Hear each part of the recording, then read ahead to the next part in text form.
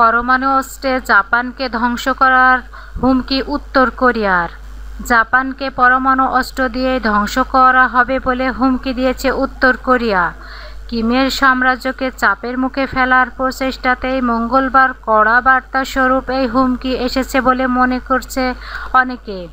উত্তর কোরিয়ার রাষ্ট্র নিয়ন্ত্রিত সংবাদ সংস্থা কেসিএনের বক্তব্য অনুযায়ী জাপানের প্রধানমন্ত্রী শিনজো আবে গত মাসে জাতিসংঘের মহাসম্মেলনে উত্তর কোরিয়াকে পরমাণু অস্ত্র পরীক্ষার বিষয়ে পিছিয়ে আসার জন্য চাপ দেয়। গত আগস্ট মাসের শেষের দিকেই জাপানের দিকে একটি শক্তিশালী ক্ষেপণাস্ত্র প্রয়োগ করে উত্তর কোরিয়া, যা জাপান অতিক্রম করে চলে যায়।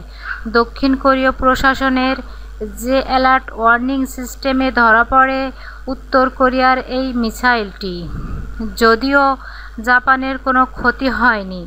দেখতে গেলে পুরো বছর ধরে একের পর এক ক্ষেপণাস্ত্র নিক্ষেপ করে গেছে উত্তর কোরিয়ার একনায়ক কিম জং উন জাতিসংঘ, আমেরিকা সহ বিশ্বের একাধিক দেশের বিরোধিতা সত্ত্বেও কোনো গ্রাহ্য করেনি তারা।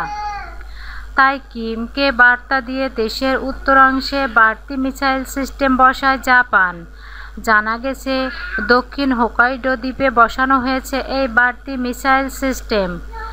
PAC three ground self defence force ব্যবহার করা হচ্ছে হোকাইডোর এই অংশে। অন্য অংশে ব্যবহার করা হয়েছে Patriot advance capability three missile system. উত্তর কোরিয়ার পরমাণু বিস্ফোরণ কর্মসূচি নিয়ে আলোড়ন ছড়িয়ে পড়েছে দুনিয়ার সর্বত্র।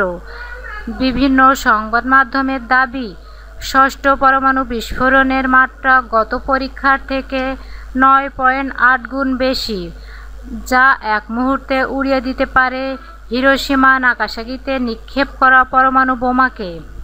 আমার এই চ্যানেল হতে আপনারা যদি লেটেস্ট নিউজ পেতে চান, তবে অবশ্যই সাবস্ক্রাইব করুন। ধন্যবাদ সবাইকে।